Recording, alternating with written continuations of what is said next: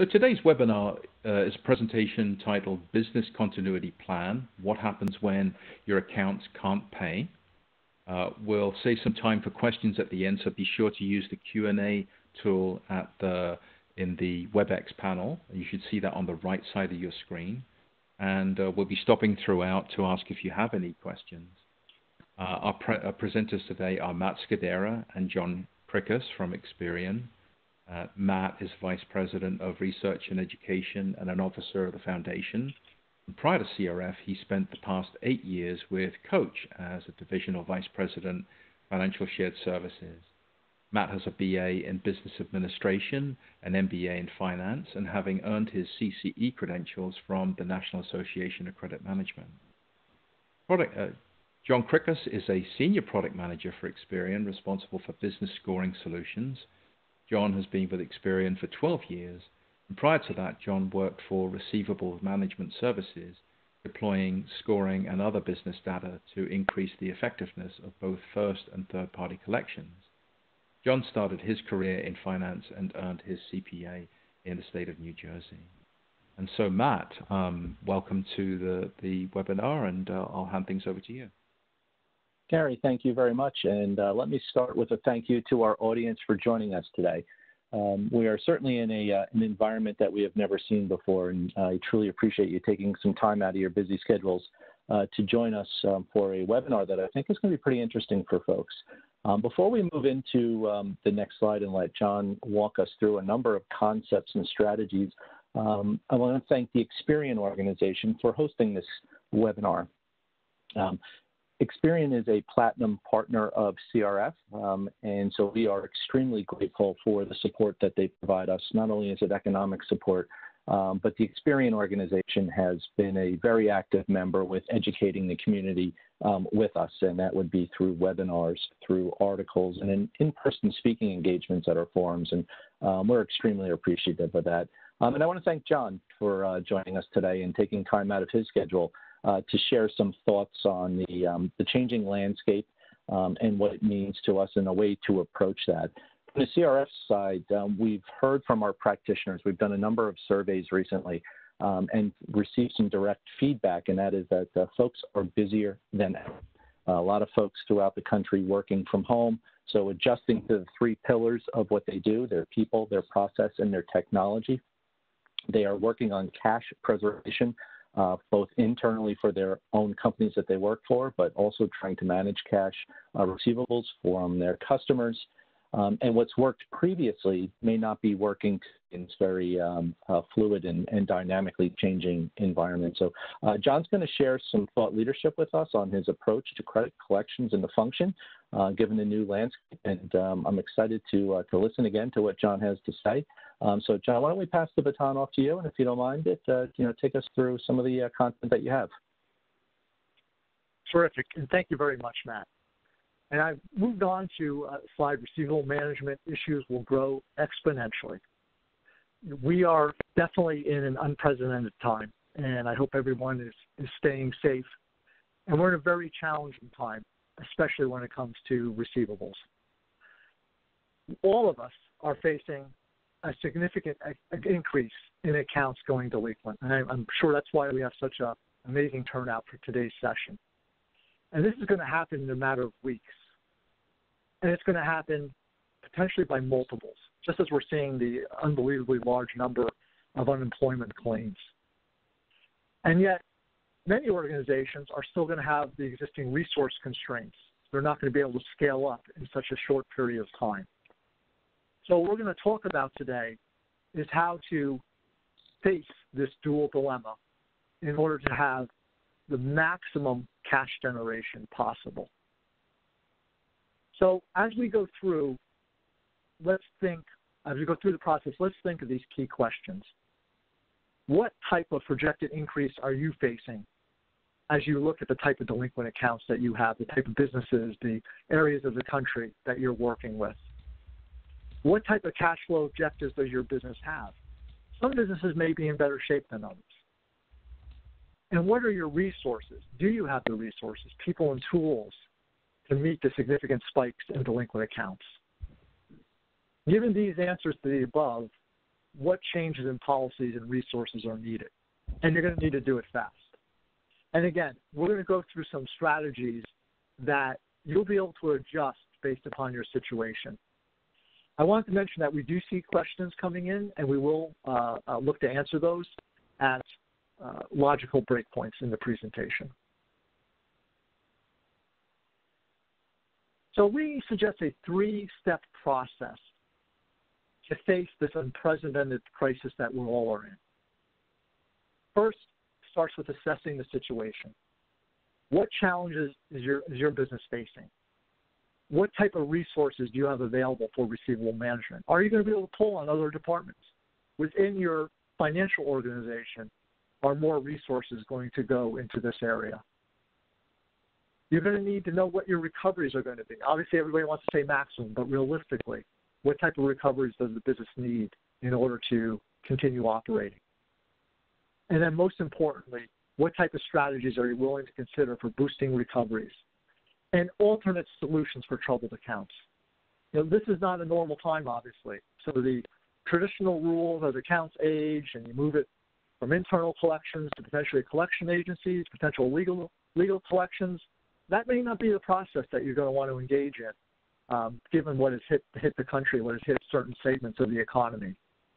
And so every business is going to have to sort through that and come up with uh, what type of alternate solutions they're going to look to have for businesses down the road. So after you've assessed the situation, now we want to look at strategy. And we're going to want to look to force multiply, a great term. Force multiply with tools, analytics, scores. Um, we're going to talk about uh, a COVID map that, uh, uh that you'll have access to. A score driven strategy can maximize both results and efficiency for a large portfolio. We all are familiar with the credit score, so that's about delinquency. And we definitely want to use that to segment accounts. But there are also business failure or default scores that are going to identify the businesses most at risk. And then there's also recovery or collection scores that are available. So these are for the significantly delinquent accounts to assess where the best chance of collection are. Finally, we need to act. After you've assessed, discussed your strategy, you should now have the segments that you want to prioritize. You will have the strategies in place based on potentially accounting for where the COVID 19 risk is and other score analytics are. And re- unleash your resources. Unleash the resources to focus on segments that will generate the payments and cash flow your business needs. The, the flip side of that is saving resources uh, and that's what we're going to talk about as well, where not to spend time, and thinking about the alternate solutions for those lower priority accounts. So we're going to go through this, this three-step process. The objective is to maximize cash flow. We're going to need to first start with a base strategy. But then we're going to assess that strategy based upon different needs of a business. And we'll talk about two specific areas. These are really adjustments and what specific objectives of your business are. And then we're going to present two potential plans of attack for a receivable portfolio. Now, there are many plans that could be derived from the tools we're going to talk about here. And obviously, your company has its own uh, company culture and objectives that will also influence the final plan. So let's start with a base strategy for increasing recoveries. And this is pretty much a strategy we would have in let's call it normal times from 60 days ago. What you see here in the grid is going at, from the uh, left to right at the top end of the scale is a credit score, a payment delinquency score. So we have low scores to the left, high scores to the right. High scores means there's less risk. Low scores means there's higher risk and more likelihood of delinquency. On the axis going up and down, the vertical axis, we have a business failure score. So again, low score means higher risk, high score means lower risk. Now, traditionally, we would focus on accounts in the green, in the green box, accounts that were paying slow, but were at a lower risk of failing. With the theory that the accounts in the yellow box who have good scores in each area, if they're delinquent, a large number of those are going to probably self-cure. The orange box would be ones that we would not only contact, but probably expedite actions. We'd be quicker to advance these accounts through the collection stages, going to a final demand collector, potentially going to an outside collection agency, again, during, during normal times.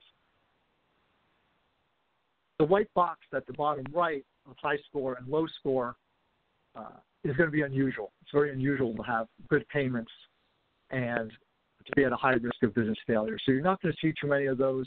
It's going to probably be some type of special circumstance involving legal filings or some area like that as to why they might score that way. So this would be a traditional strategy to serve as our, our base strategy. But we know we're in a different time. And as we look at what is going on in the country, Experian has developed a COVID 19 map. This is uh, free to, to anybody who goes to the, uh, to the website. It's up at the top right, and Gary, I believe you're going to send out the link through the chat function. And what this does is it looks at the COVID statistics, uh, also looks at industry indicators. So it's a combination. You can go down to uh, the state level, industry level, and the suggestion here is we're going to want to look at the COVID impact. We can't ignore it. I've had the question of how will scores perform in this COVID environment? Our scores, uh, statistical scores, have worked during other crises. Uh, during the financial crisis of 2008 and 2009. Um, to a lesser extent, when there was the 2014 uh, 15 downturn in the oil uh, areas of the country when oil prices last declined, not, not like now, but when there was a, a decline in prices then. The scores still rank order. So this, as, as we discuss the scores going forward, we're still going to have that. But obviously, with this unbelievable new impact of COVID, we have to take into account, for example, uh, on this map, which, by the way, you can click on state and get different rankings by state and different industries with highest risk and lowest risk, it's no surprise that entertainment, uh, food services, accommodations, retail trade are highest risk industries. And we're going to need to take that into account when we look at, at the scores as we go through these strategies. And also industries with lower risk, uh, such as education, healthcare, utilities, public admin, uh, are going to be at lower risk, and we're going to need to take that into account also. So we had our base strategy, and now we're looking at adjustments based on the, the COVID impact. Our first adjustment will be thinking about your business. If you're dealing with a lot of industries that are in very bad shape, you're going to need immediate cash. You're looking for immediate cash. Who can now? If you're fortunate enough to have a diversity of industries, not concentrated in those industries most being impacted by COVID, you may be able to stay closer to a traditional strategy to maximize your resources. Because again, the uh, highest scored accounts in both sectors you, in normal times will self cure. But will that really happen in this environment? It may depend on the area, the harder hit areas versus lesser hit areas of the country, and the harder hit industries versus the uh, lower hit industries.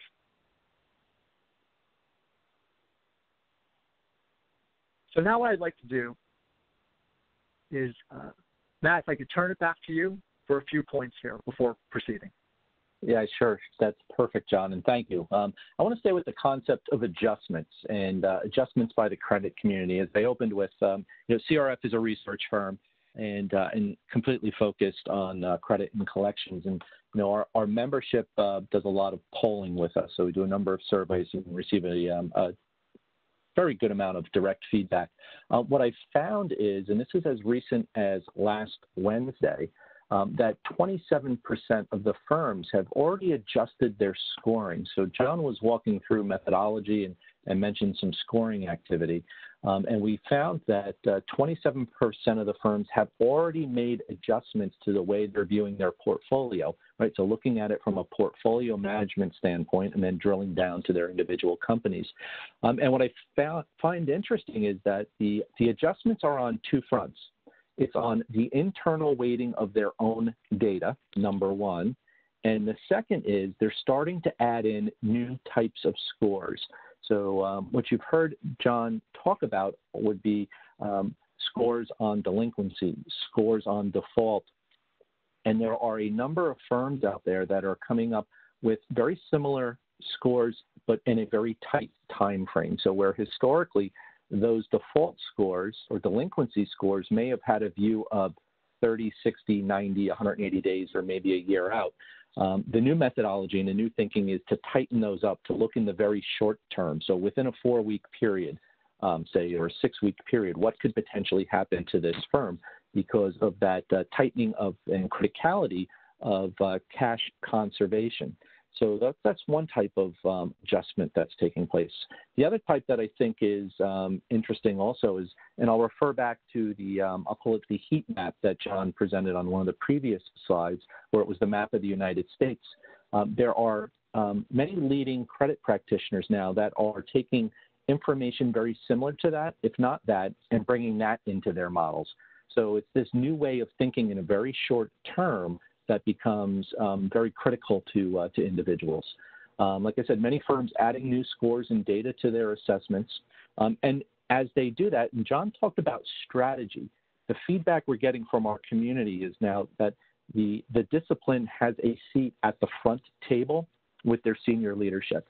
And that's because they have to align their short term business strategy to their customers' risk and collections and they have to go in and do that immediately. So depending on where you fit within the economy, and um, you know, John talked about, you know, there are many different industries. Um, you know, some are in better shape than others, uh, and because of that, each firm has its own position on what's important to them, and so they have to take that strategy and apply it to the scoring models, the process, and the actions that they're going to take. So, kind of aligning um, actions to your environment is what's critical here. And so, uh, again, I wanted to share what some of the current adjustments are and what people are doing. Again, just to, to reiterate it, uh, have already adjusted scoring models um, and or many firms continuing that, um, adding new types of data in there, um, relevance uh, changes to their own data, right, weighting changes to their own data, um, but getting very um, specific on short-term scores and views of their information and aligning their strategy as they sit with their uh, corporate executives um, so thinking short term as well as long term. So John, why don't I pass it back to you and you can continue on uh, through the next couple of slides. Thank you, Matt. Excellent points. And before moving on, let me just answer a couple of questions that were put up here. Um, and they're related, the questions are related to the loans that are going out under the CARES Act. Uh, now, I'm not a CARES Act expert. I have read a number of articles and, and read a summary uh, of the legislation. Um, so let's first of all separate the fact that there are different types of loans out there. Um, SBA has its traditional loans, and those are traditional loans like a bank, where you you know you have to pay that back over time. But the SBA uh, and and through the banks have n- new types of lending, and one question was about the PPP loans, the Paycheck uh, Protection Plan loans. And while they are loans, as long as you're applying uh, the PPP loans to keeping your workforce on the payroll and paying them uh, over the time frame. I believe it's two months or three months. The loan is totally forgiven. Um, pretty sure on that. Uh, again, please uh, you know check the, the the lot of written material that is out there. Um, and I do not believe they're being secured by UCC filing the PPP loans. Again, uh, please please don't quote me on that, but these loans are meant to be forgiven and uh, they're so they're different from a traditional loan that is out there. There's also a smaller pool of money uh, for emergency loans, and uh, I'm not as well versed on that. Uh, most of what I've been working on has been the PPP loans. Um, so there are emergency loans that businesses can get to also keep them afloat, but that's that's not as as widespread. And John, if I could add a comment on the uh, PP loan, PPP, three P's in there loans. Um, CRF did a, um, an educational piece with um, an organization by the name of Arent Fox. So this is a, um, a recorded session that is out on our website. Um, we passed it out to uh, the entire credit community, um, and it is a review of the CARES Act and uh, what can happen and, and what uh, does not happen. Uh, and it, it, takes two points of view on there. It's the point of view, number one, that's what's relevant to your business to continue to operate but also from the credit practitioner standpoint. Number two, it's information that they could share with their customers to help them through the process. What's included, what's not included, what's eligible, what's not eligible, um, terms of the loan, things along that line. So again, um, it's out on the CRF website, crfonline.org, uh, and it was done with the Arent Fox uh, uh, law firm, and a uh, real good piece for people to uh, to take a look at. About 40 minutes long, so I apologize. It takes a little time to get through it, but it's very informative. Terrific, Matt. Thanks for that. You're welcome. Thank you. So now we're going to move into actual strategies, development of actual strategies. Now keep in mind, we started with the base strategy from, from what we'll call normal times, uh, of focusing on accounts that are going to pay slow but will pay, and letting the really good scoring, good quality accounts uh, cure without having to put out any extra effort. But we talked about there's two adjustments we may need to make to that. One is the COVID map, as we've, as we've talked about here, um, where it's hitting the country hardest, what industries it's hitting, by geography, by industry. And the second is you, your business's objectives. As you assess your business with immediate cash generation, I know we all want to say that is 100%, but again, if you are fortunate to deal with businesses um, that are not as stressed, uh, you may not have to shift to that area as much. So those are the two two adjustments that we're going to have to talk talk about.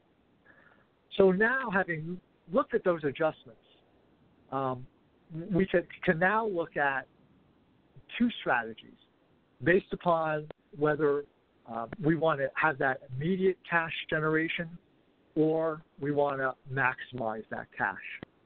So immediate cash, meaning we need cash now. You know, our business needs that cash flow we don't have any patience. Um, you're going to want to go after the low risk region and industries from the COVID map and the highest scores for both measures. So remember, our two scores we're assessing payment delinquency and business failure. And if we need to maximize cash and you're faced with a large amount of delinquencies, much more than you're, uh, you have been used to dealing with, much more than the resources you have available, we want to go after the low hanging fruit across the board. And even then, it may be tough. So we want to go after those low risk regions and low risk industries and the one with the best scores. Because before this crisis hit, those scores were ranking these businesses at the top. That will be the way to generate immediate cash. If we want to maximize cash, there's a couple of approaches here that we could take. One approach, and again, based on your firm's objectives, your firm's uh, corporate atmosphere, how you want to approach businesses in this in this crisis. There, there are a number of ways that we could look at maximizing cash. The strategy that I put forward here would be you want to go after the highest scores for both measures, businesses that were strong. But you may want to go after the high risk regions and industries uh, because the low risk region and industries and high scores will have a better potential to self cure over time. So if you can be a little more patient, the way you will maximize cash over time will be to uh, go after good scoring accounts in high risk regions and industries. And again, you could adjust that based upon some of the factors and information that Matt was talking about. A second priority, after you've uh, gone after the the uh, number one targets. So now, if you're talking about needing that immediate cash, really you're going to take what was priority one for maximized cash to be priority two for immediate cash. You've already attacked the low risk regions and industries per the COVID map. Now you're going to go after the high risk region and industries, but you're still going to go for the highest scores. Again, high score means low risk, just like our our own consumer score, right? Uh, you want to have a, an 800, that means you're low risk versus a 550, that means higher risk.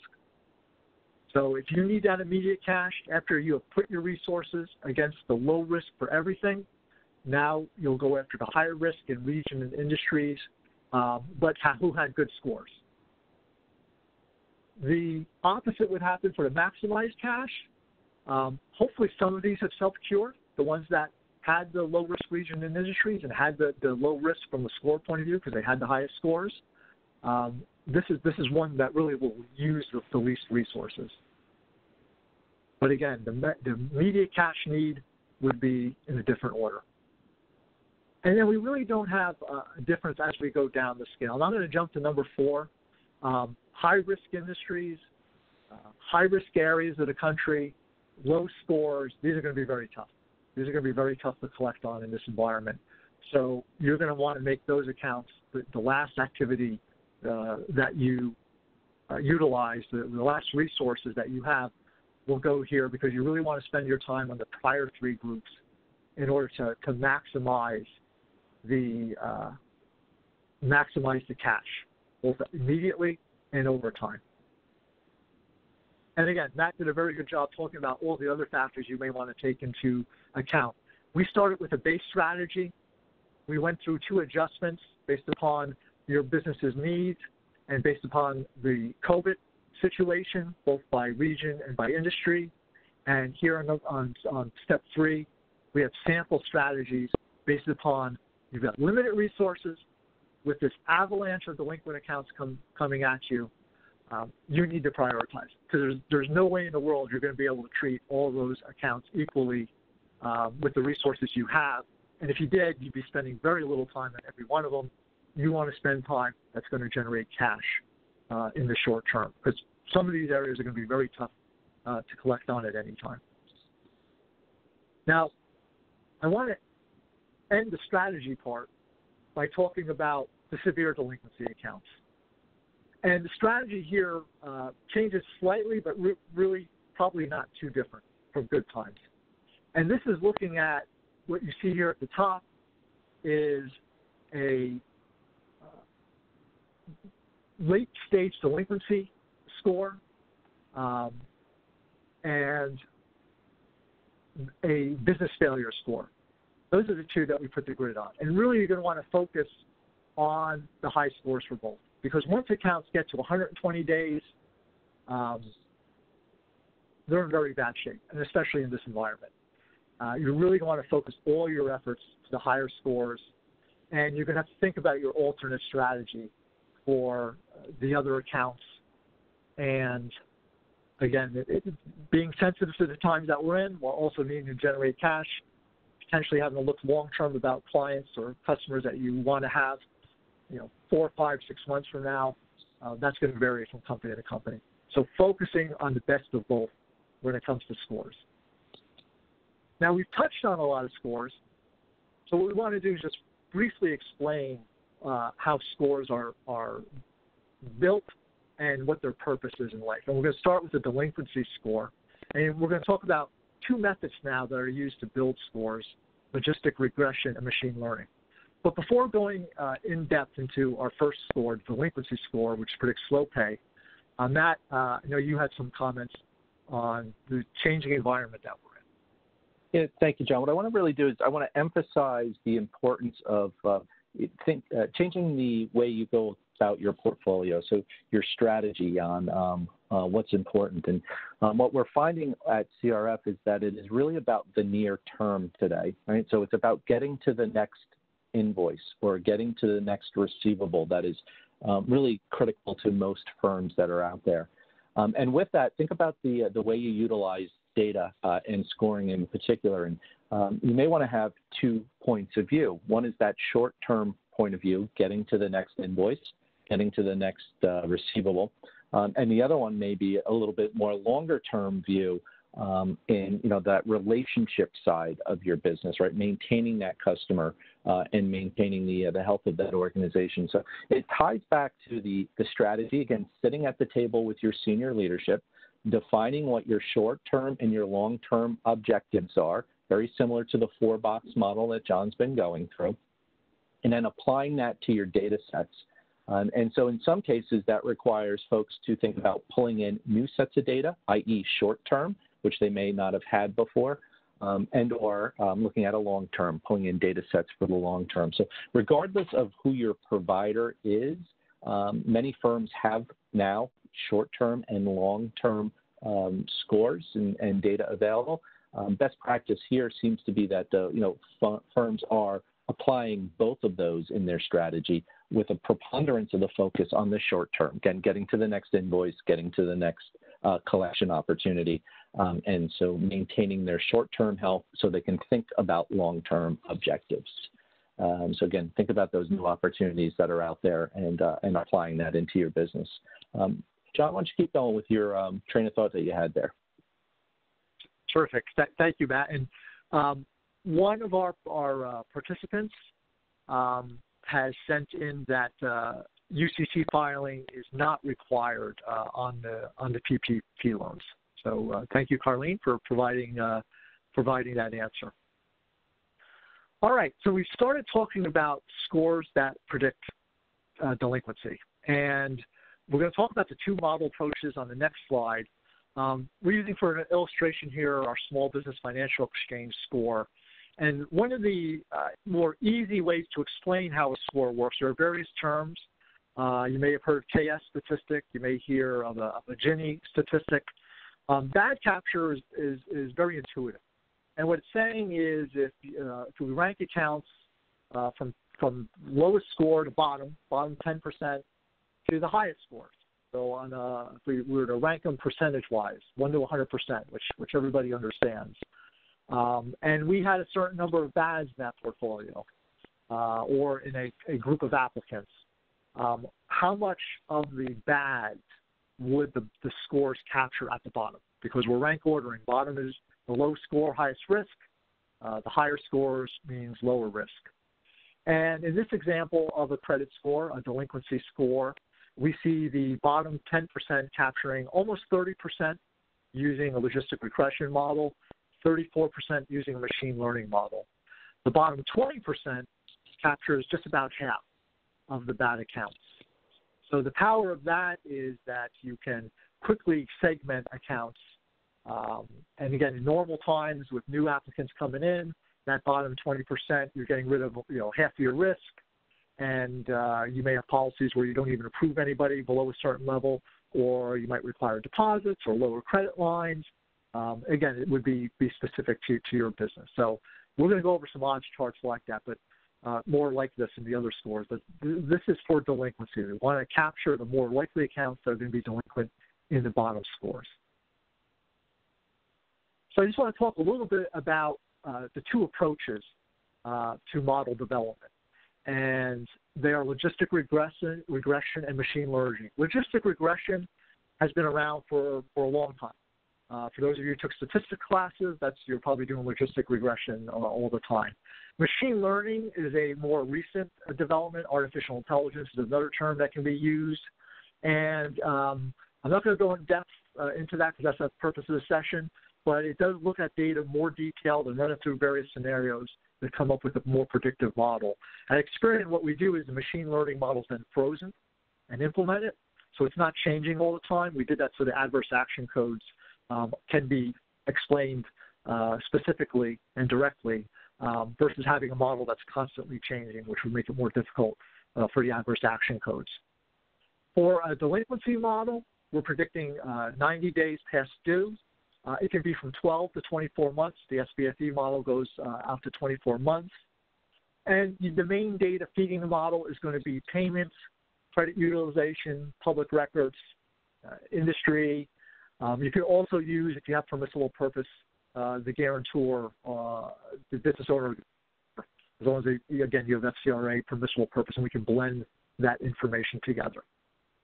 Therefore, you get two score types. One's a commercial only if you don't have permissible purpose, or you could get a blended or owner only model. Owner only means we didn't have business data in the database, um, and again, you have to have the FCRA eligibility. So that's a delinquency score. Now let's talk about a business failure score. So these are the businesses that the highest risk for failure or payment default because a lot of small businesses uh, don't file bankruptcy papers. So we, we identify as a proxy those that have a very high percentage of their, their payments uh, being not paid or, or being 90 days past due delinquency. And what we see here with the business failure score, so we use the financial stability Experian financial stability risk score, is again bad capture. And it's even stronger with uh, business failure versus payment delinquency. We're able to capture 74% of all the businesses that are going to go bad uh, in the bottom 20% of scores.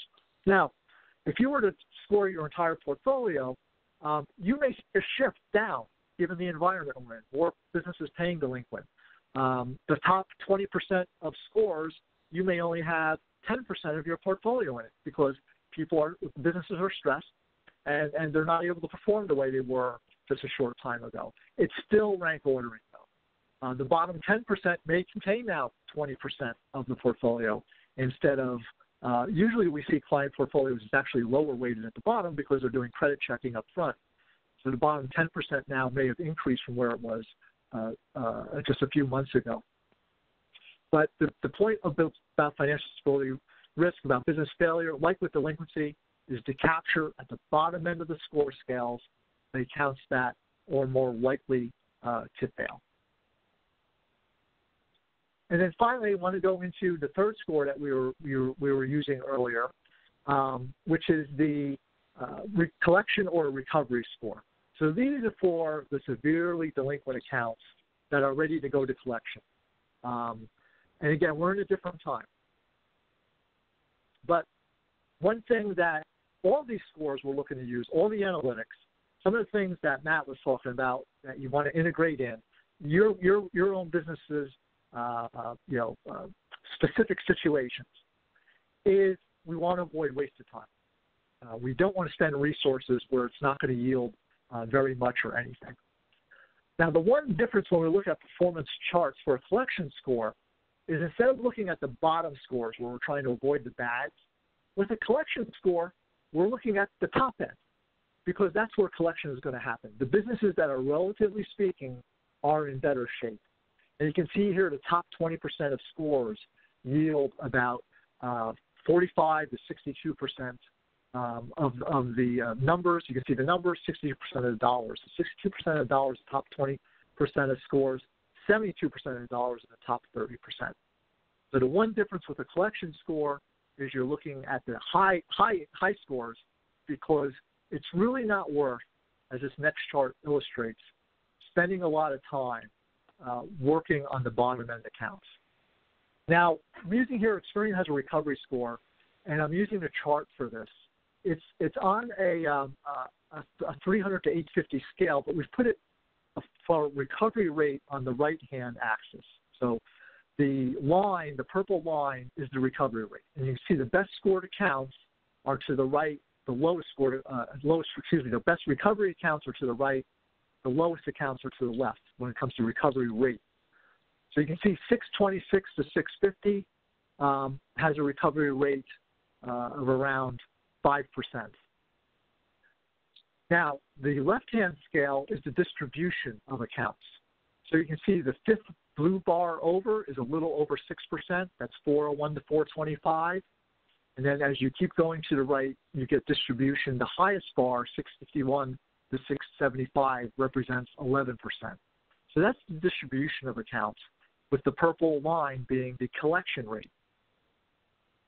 What is very useful here, and this is again where you're going to save huge amounts of resources, is that when you look at the left hand side and the five bars, the one that's a little over six and the other four, which roughly add up to about 20%, accounts below 425 that score below 425. That bottom 20%, has practically zero collection rate. Now, in the prior world, 60 days ago, we might have just sent these to legal collection right away. Uh, again, we're in a new environment. Um, we want to be sensitive to, to where people are. Your, your company may have different policies. We'll leave that to you to, to determine and your business to determine. Uh, but from a collection point of view and using resources, I really would not spend any resources at all on accounts scoring below 425, even below 525, where you get another six, seven percent of the accounts. On the other hand, you would spend most of your resources uh, on accounts where you're getting a collection rate of 20% or above, definitely that'd be 7, 701 and above. Um, and depending upon your resources, you go further down the scale. So, real powerful uh, uh, illustration here of how scoring can save on resources and focus the resources on the accounts that, that are going to matter. So let me summarize uh, before a couple uh, closing comments. When we look at developing a receivable management matrix, mainly we focused on first what we call first-party collections, your your your, your existing portfolio, uh, the 30-day delinquent, 60-day delinquent accounts. We've got to understand the challenges your businesses are facing. Uh, what resources do you have available? Project the recoveries. Now we're going to talk about strategy. How are you going to force multiply the tools that you have both human resources and both technology tools. And you can see here we're strongly suggesting using scoring tools so you have a score driven strategy to maximize results and efficiency. Because I'm sure very few of you are going to get the resources that you're going to need um, to face this avalanche of delinquent accounts. We talked about the three scores and, and how they work, um, and then you can act. Prioritize your strategy, use the COVID map uh, to integrate into the strategy. Use some of the other indicators that Matt was talking about earlier to integrate in your strategy so you can focus your resources on the segments that are going to generate that immediate cash, that are going to generate that cash flow over time. And almost as important, avoid using resources uh, in the areas where uh, you're, you're not going to generate much cash flow, much much uh, recoveries or collections. With that, Matt, I know uh, you have some uh, closing uh, comments. Yes, John, thank you. And uh, great points that you've made uh, all throughout the presentation. Um, as a uh, practitioner, so for 25 plus years, I was a practitioner um, and now doing some education and some research in the field. Um, I find it um, interesting in a number of ways. One of the um, recent polls that we've had found that there may be a little bit of slowness in data transmission that's happening. Um, as a um, as a practitioner, we know how important it is to have updated information to make credit decisions. And certainly in these times, it's even more important to have updated information. Um, my um, my word of advice here and my my ask would be, um, you know, given that we're in a very dynamic uh, time and, and we're in a data-driven environment, is to make sure that people are continuing to share their information with their providers. So I say providers, no matter who it is um, whether it's Experian or somebody else, um, that you continue that. It's really like a give to get type of environment, right? As you share information, you also get that um, information back from your peer group out there so that you are making the best decisions for your firm. So um, it's really important to continue to share information.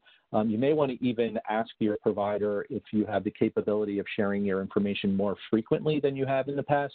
Again, this is a community uh, type of statement so that everybody has the most recent information in their credit reports so that you can make the best decisions that you can given your firm's approach and strategy. And, and as you cross those three pillars of what's important to you your people your process and your technology that you are implementing the best opportunity that you can for success uh, within your firm. So, um, so really just a, uh, a general statement uh, on that. Um, John, I want to thank you. Um, you gave us a tremendous amount of information to walk through, right? A strategy to get us to that next invoice. Um, the ability for us to start thinking about the newness of what's going to happen um, and getting us to the point where we get our operations running again um, in a very efficient manner. So, uh, John and the entire Experian organization, thank you. Thank you on behalf of CRF. Thank you for today's uh, webinar. Um, and thank you for all that you do for the community. I also want to say thank you to the audience, right, for listening in uh, to today's session. Um, it was just, um, it's great to have you with us. It's also, um, you know, good to move away from the daily transactional stuff and begin to educate ourselves on uh, what opportunities we have in front of us. Uh, and we truly appreciate you taking the, uh, the time to do that. Um, Don, before um, we close out today's webinar, are there any other comments from you? otherwise, I think we'll call it a, uh, a session.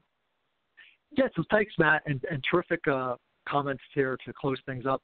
I just wanted to cover a couple questions that we had. Someone asked about defining recovery rate.